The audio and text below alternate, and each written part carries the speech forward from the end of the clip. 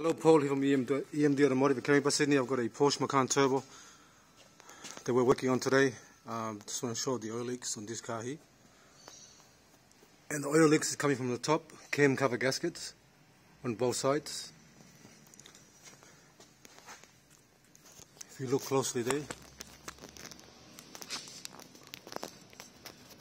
the top part of the cam cover is leaking.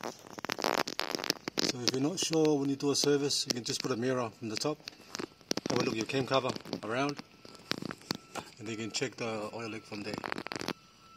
Alright, so that's the oil leak from there, underneath the car.